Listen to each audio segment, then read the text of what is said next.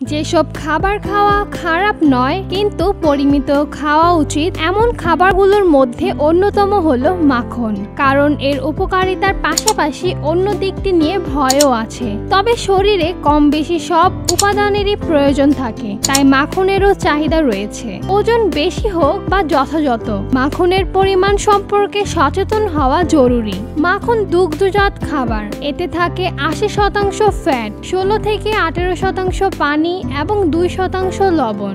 মাখনে থাকে vitamin A D E কে এবং উৎকৃষ্ট মানের manganese zinc, selenium, iodine, vitamin ও খনিজের জন্যই এর পুষ্টিগুণ বাড়ে। মাখনের স্যাচুরেটেড ফ্যাট নিয়ে ভয় থাকে, তবে এর উপকারিতা অনেক। কোষের ম্যামব্রেন মজবুত করতে, লিভারের কার্যকারিতা সুষ্ঠুভাবে পরিচালনা করতে, হাড়ের কার্যক্ষমতা বাড়াতে এর গুরুত্ব রয়েছে। এইচডিএল ও এলডিএল দু ধরনের কোলেস্টেরলের পরিমাণই শরীরে বাড়িয়ে দেয় মাখন। তাই হার্টের অসুখ, ডায়াবেটিস, হাই কোলেস্টেরল, ওবিসিটিতে ভুগছেন এমন ব্যক্তিরা মাখন খাবেন চিকিৎসকের পরামর্শ মতো। বাজারে এখন অনেক ধরনের মাখন পাওয়া যায়। পিনাট বাটার, রোস্টেড পিনাট থেকে এই মাখন তৈরি হয়। হাই প্রসেসড ফুড বলে এতে কোলেস্টেরলের পরিমাণ সাধারণ মাখনের চেয়ে অনেক কম। ভিটামিন ই ডি বি ও ম্যাঙ্গানিজের ভালো উৎস এটি। এলডিএল এর পরিমাণও কমাতে সাহায্য করে।